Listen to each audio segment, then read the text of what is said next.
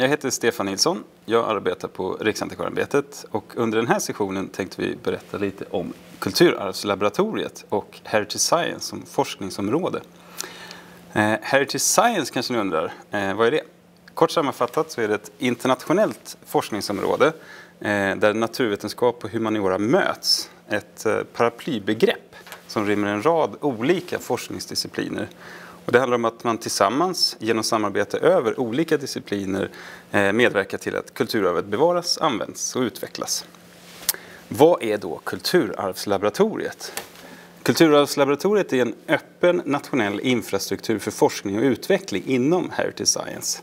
Och genom laboratoriet så kan vi tillsammans med universitet, museer, arkiv och andra eh, institutioner göra undersökningar och analyser för att besvara viktiga frågeställningar.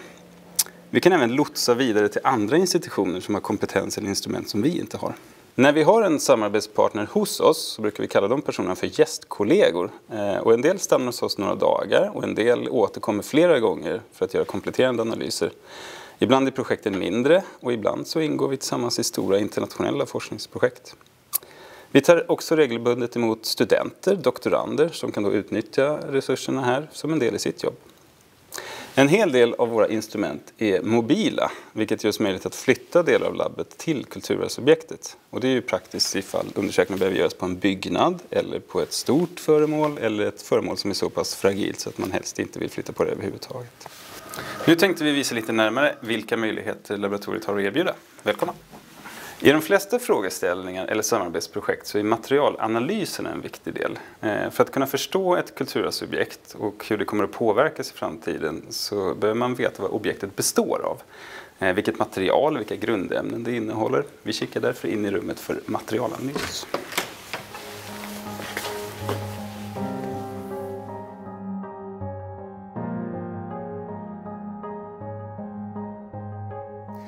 Det här är ett svepelektronmikroskop. Det är ett av de instrumenten som vi använder väldigt ofta här på Kulturarvslaboratoriet. Det är utrustat med en energidispersiv röntgenspektrometer och det gör att det kan fungera både som ett mikroskop och som en grundämnesanalysator.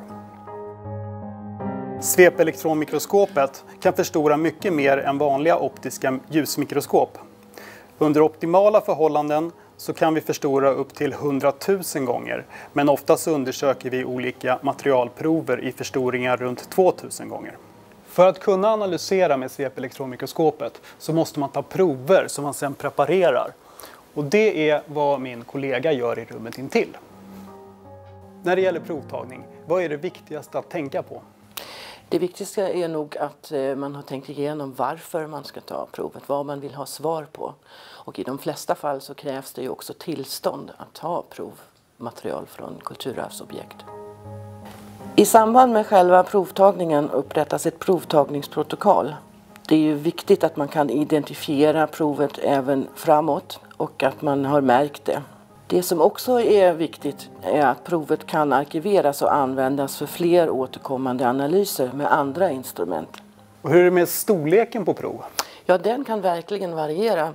Här har vi en ganska stor bit från en mur, eh, men oftast är proven mycket, mycket mindre. Och här ser vi en fallande skala, men eh, ibland är det till och med så litet så vi inte kan se det med blotta ögat. Provtagning sker ofta under mikroskop. Och sedan, just när det gäller färgprover, så gjuts de in i epoxy eller akrylharts.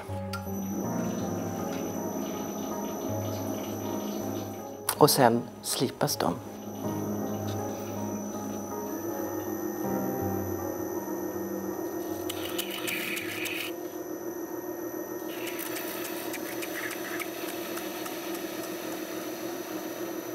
När provet sen är slipat, då har vi ett tvärsnitt som vi kan studera lagerstrukturer i.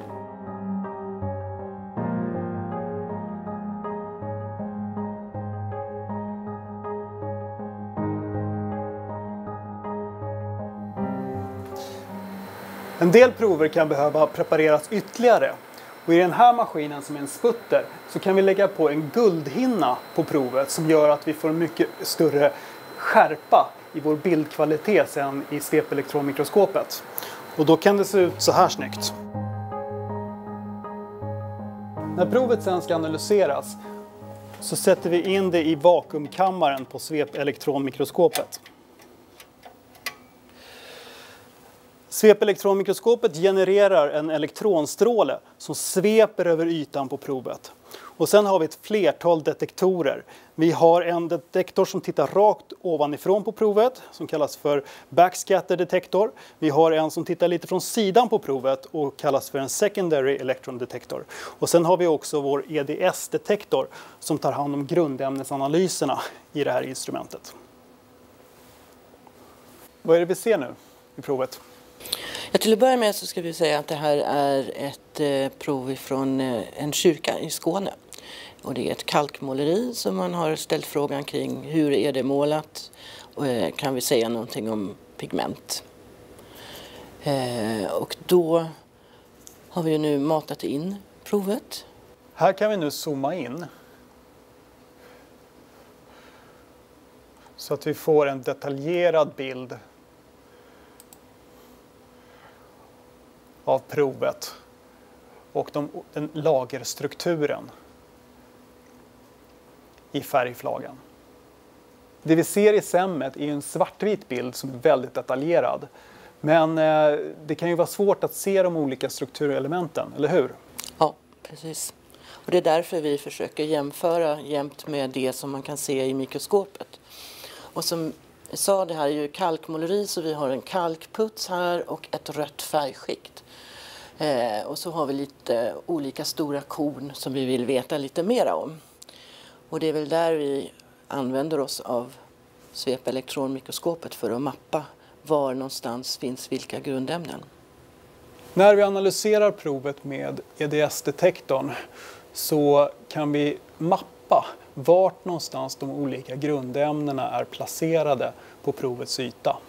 Och då ser vi ju tydligt att ja, Eh, det finns mycket kalcium i eh, kalken, i kalkputsen. Eh, den vackra Stenen är mycket riktigt sten eller kisel. Och vi kan även se att det finns ansamling av järn där den röda färgen ligger i provet. Så därmed en järnoxid röd. Och vad är det mer vi använder SEMME till för att analysera? Ja, det är ju för att kunna se skillnad på det som är ursprungligt eller senare tillägg. Eh, det är för att kunna titta på konserveringsmaterial som kan finnas i, i ett prov. Eh, det är också att titta på skador, sprickbildning, liknande som man kan se. Eh, korrosionsprodukter, flamskyddsmedel, kanske bekämpningsmedel som också kan vara, vara presenta. Vi tittar också ofta på salter i det här instrumentet. Ja, just det. Och sen så kompletterar vi ofta de här analyserna på svepelektronmikroskopet med andra typer av analyser i labbet som mikro-XRF eller eh, FTIR. Och alla metoder tillsammans gör ju att det blir mycket säkrare att tolka resultaten.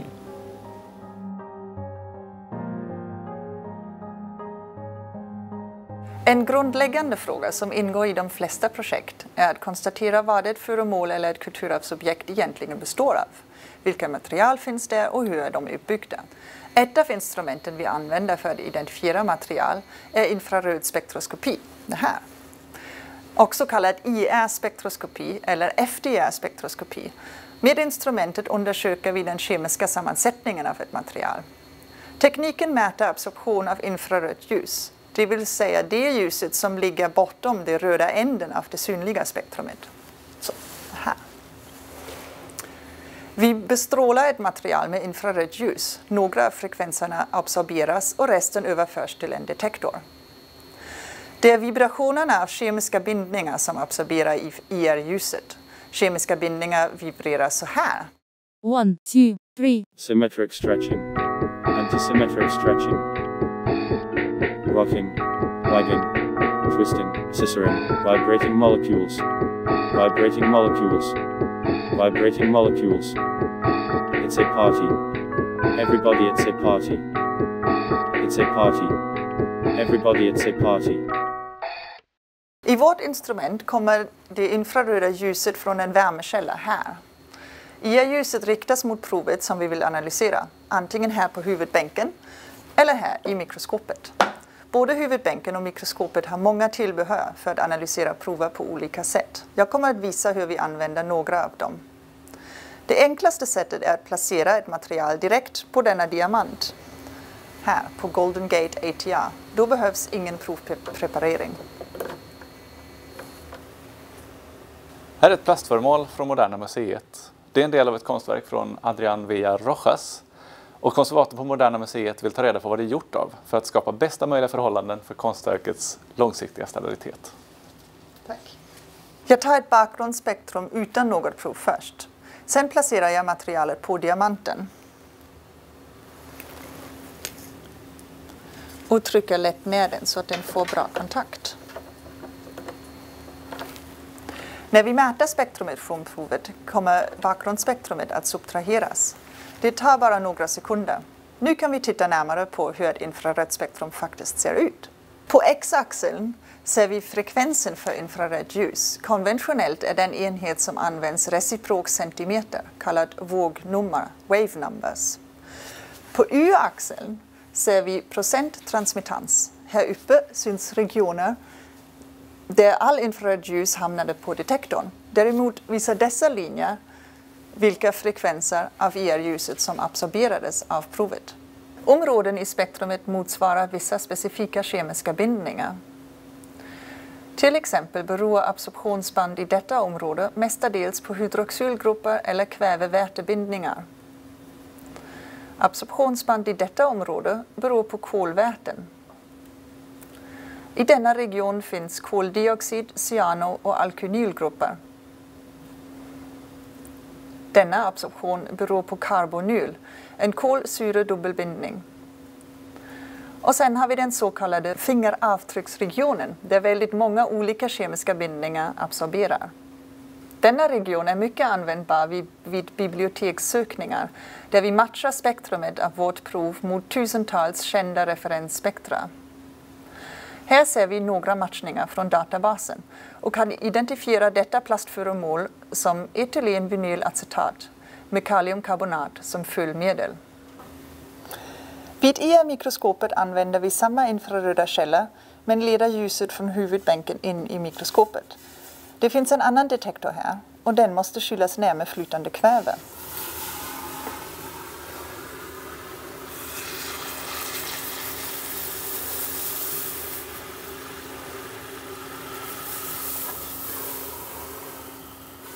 Här har vi ett prov av pappret från Carl Larssons pastellmålning Ateljéidyll som finns på Nationalmuseet. Eh, pappret hade limmats på en ram och frågan är vilken typ av lim som det är. Vi använder en diamanttryckcell för provberedning. Detta är lämpligt när det gäller blandade eller kontaminerade material samt för väldigt små prover. Under ett mikroskop kan jag plocka ut partikeln som jag vill analysera och placera den på diamanten. Tryckcellen stängs och partikeln trycks platt och tunt. Diamanttryckcellen med provet på monteras i mikroskopet. Jag hittar provet med mikroskopkamera och väljer det området som ska analyseras. Det kan vara så liten som 20 mikrometer. Här tar vi först ett bakgrundsspektrum från ett tomt område och sen spektrumet från provet.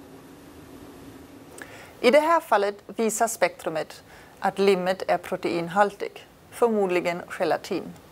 Vi kan också använda mikroskopet för IR-spektroskopisk kartläggning med detta tillbehör.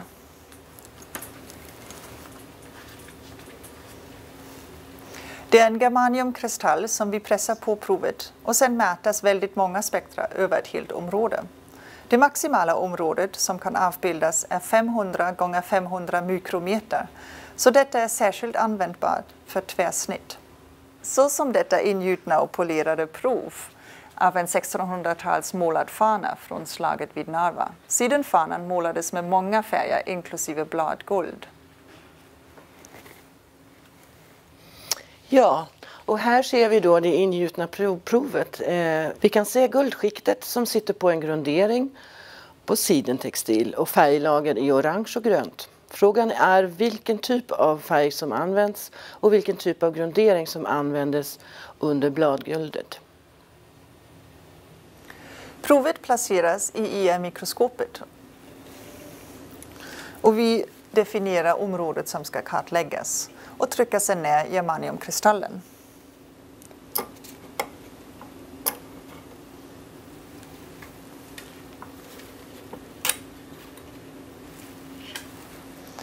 Instrumentet kör sedan i många timmar, ibland över natten, för att mäta alla individuella spektra.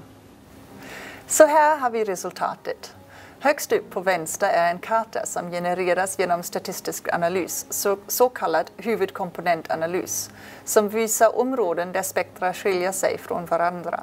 Varje pixel på den här kartan är ett spektrum och vi kan öppna var och en för sig om vi vill.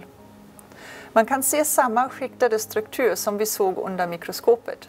I det här fallet kan vi visa att grunderingen under guldet är oljebaserad, såväl som båda färglagren. Men det finns också skillnader i mineralerna i varje skikt.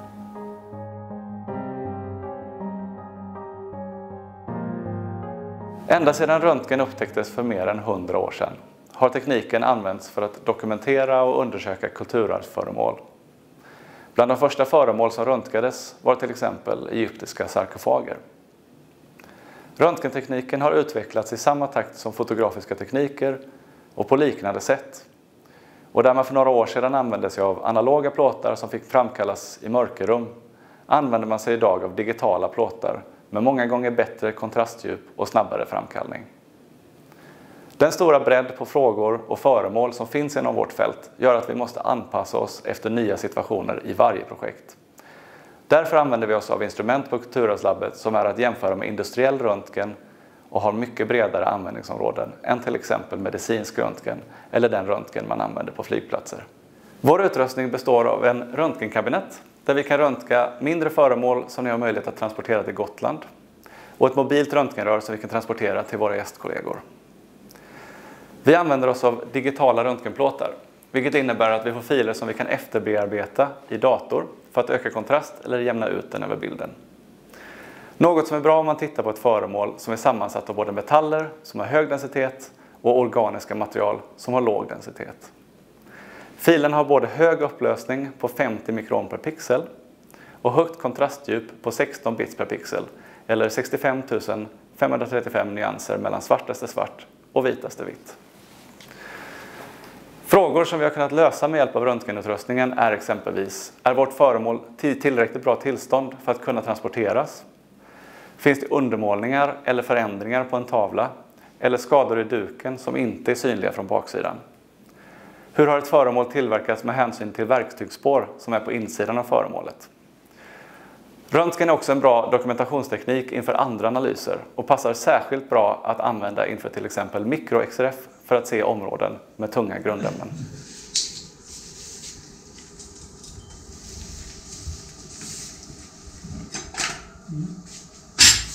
När vi röntgar tavlor är det oftast enklare att lägga tavlan mellan två bord för att kunna exponera underifrån. Detta förutsätter att vi kan lägga skyddande plastfilm på konstverket och sedan röntgenplåten utan kassett.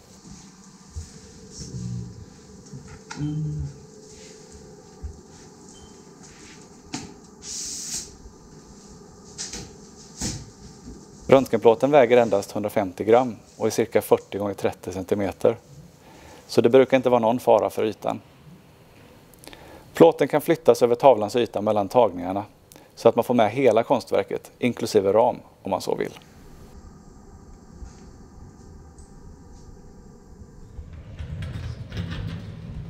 Om föremålet som ska röntgas har stor volym och tredimensionalitet behöver vi istället använda oss av en ställning för röntgenplåten och röntga framifrån eller från sidan. Röntgenplåten flyttas på ett liknande sätt som när vi röntgar tavlor. Men den är i sin kassett och det finns inte någon risk för att kassetten rör vid föremålet om det skulle vara ett problem.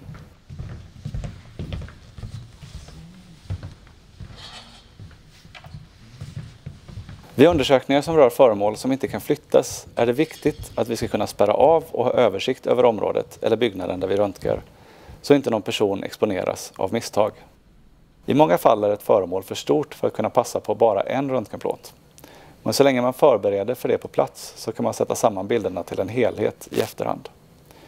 Det kräver oftast att man har gott om plats framför eller bakom föremålet när man röntgar så att man får en så liten vinkel mellan röntgenröret och dess yttersta delar som möjligt. Exempel på föremål som vi röntgat och satt samman i efterhand på detta sätt är statyer, tavlor, musikinstrument och möbler. Självklart är det i de flesta fall inte nödvändigt att röntga ett helt stort föremål. Man kan fokusera på delar eller detaljer. Men det är oftast intressant att få en översiktsbild både ur ett pedagogiskt synsätt och för att få en helhetsbild på föremålets tillstånd. Vilka föremål är svårast att röntga? Det beror lite på vad man är ute efter. Generellt är vissa metaller svåra att tränga igenom med röntgen, speciellt om det är ett massivt föremål. Eller till exempel många silverföremål som mynt. Då får man ingen bra bild. Silver och bly är exempel på metaller som, är, som kan krångla till det. Kan man röntga bly? Visst kan man det, förutsatt att blyföremålet inte är för grovt i dimensionerna. Ibland kan det till och med hjälpa till med kontrasterna i röntgenbilden, som när ett föremål eller en målning innehåller blyvitt. Är röntgen farligt för föremålet?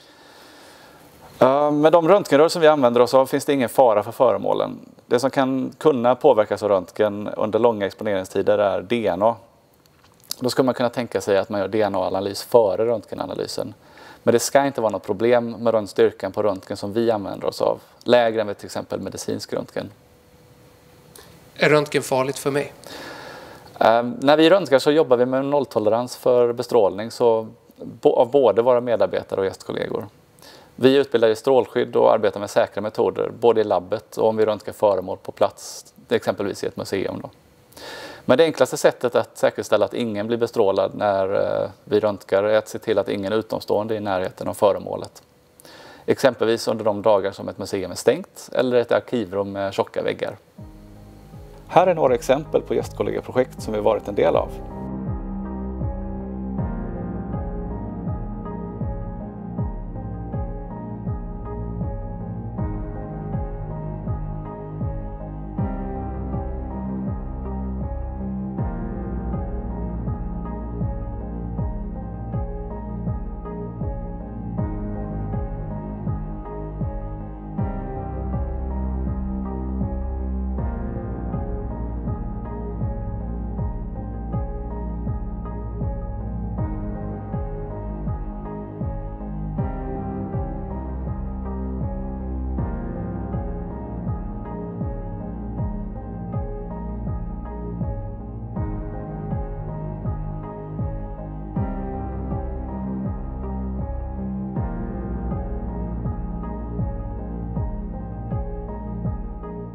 Röntgen är ett bra komplement till flera av de instrument vi har på Kulturarvslaboratoriet.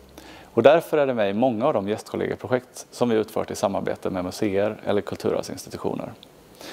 Det är en bra dokumentationsteknik men kan också användas som en undersökningsmetod för sig. Och eftersom grundämnen med högre densitet är ljusare på bilden kan man identifiera områden som är intressanta för provtagning för till exempel pigmentanalys. Eftersom våra instrument kan transporteras är det möjligt att röntga föremål som inte kan tas till Gotland, där vi har vårt kulturarvslaboratorium. Det kan röra sig om stora föremål, föremål som är för sköra för att transportera eller delar av byggnader. Självklart finns det en gräns på vad vi kan ta oss an.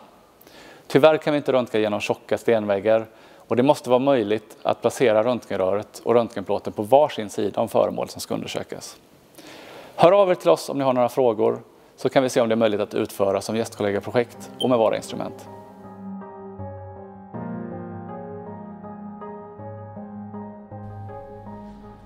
Det här är ett av våra mest använda analysinstrument vid Kulturarvslaboratoriet. Det är en röntgenfluorescensinstrument som har en möjlighet att analysera på en fokuserad mikropunkt med hög energi.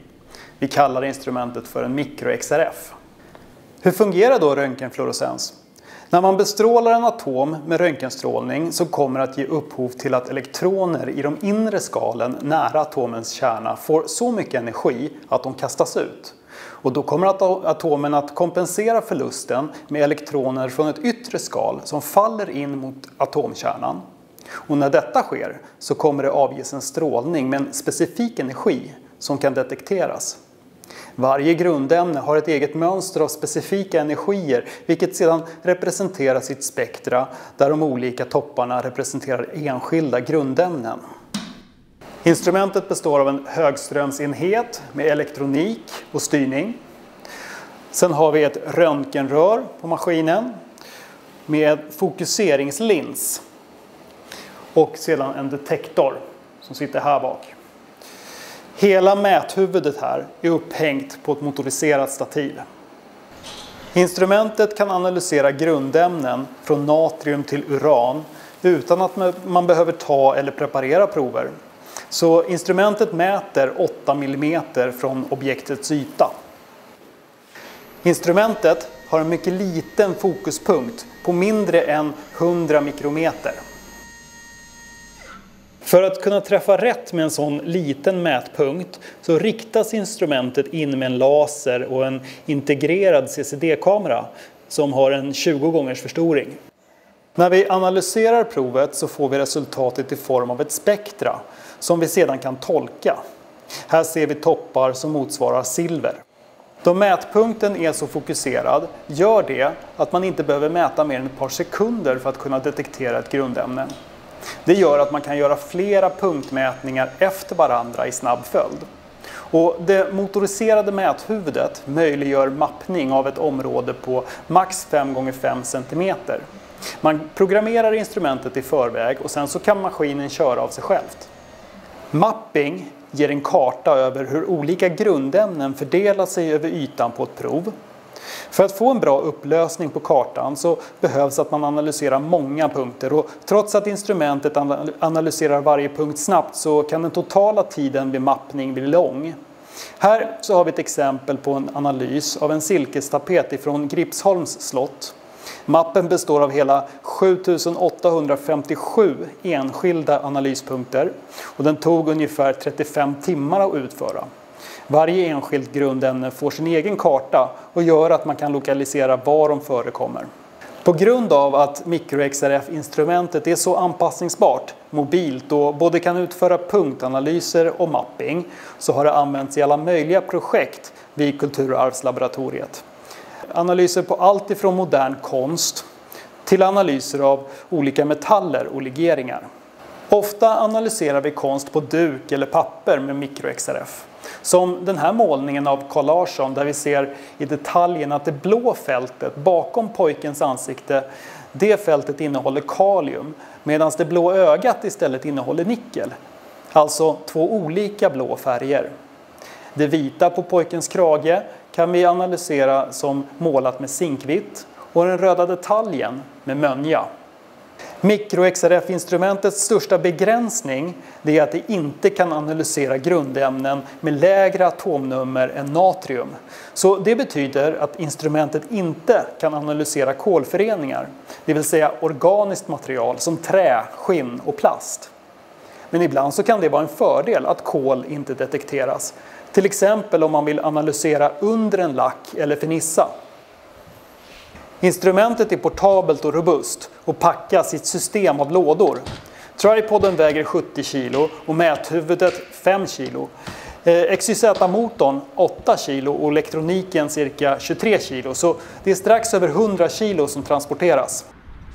När instrumentet väl är nerpackat så kan det transporteras med bil till den plats eller till det museum där analysen behöver utföras. Och så här kan det se ut när Micro-XRF-instrumentet används i fält.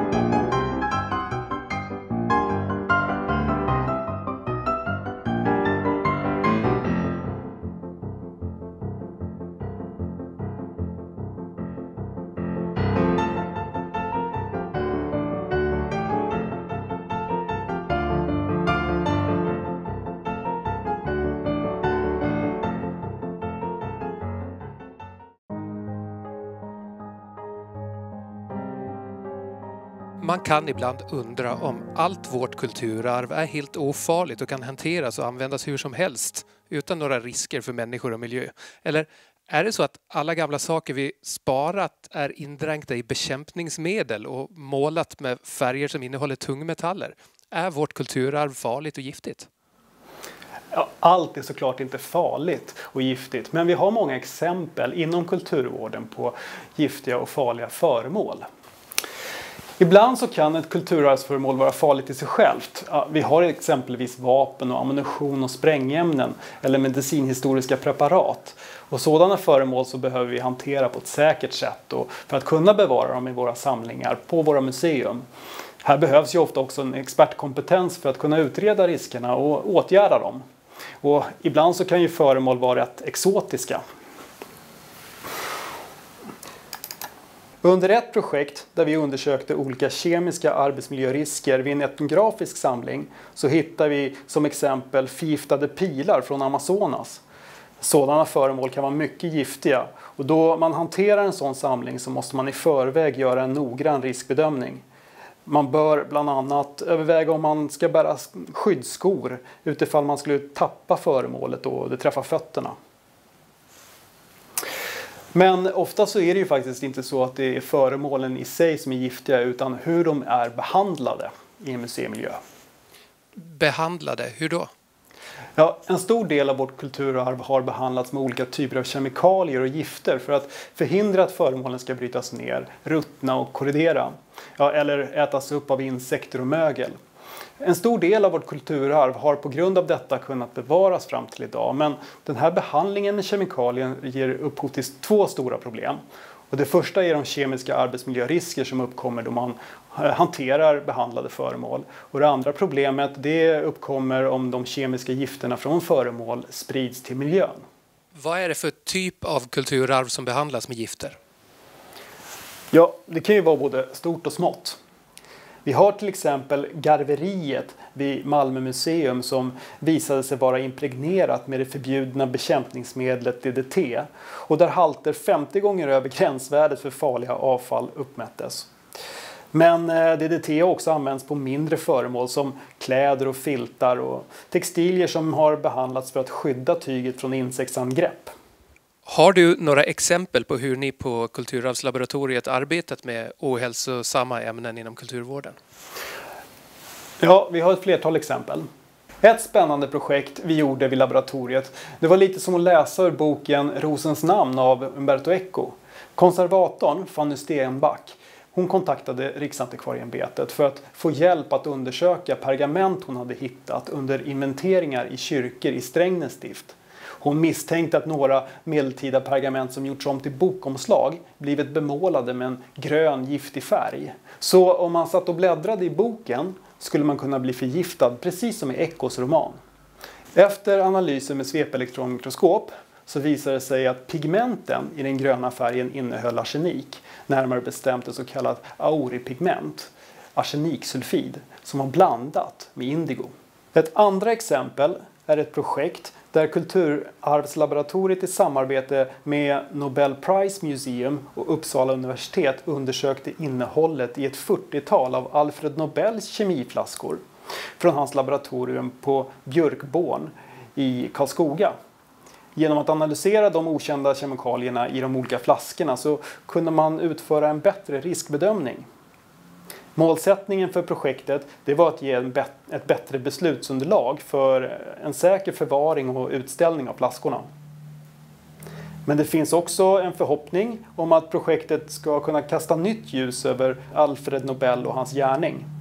Vad mer kan Riksantikvarieämbetet och Kulturarvslaboratoriet hjälpa till med då när det gäller gifter och ohälsosamma ämnen inom kulturvården?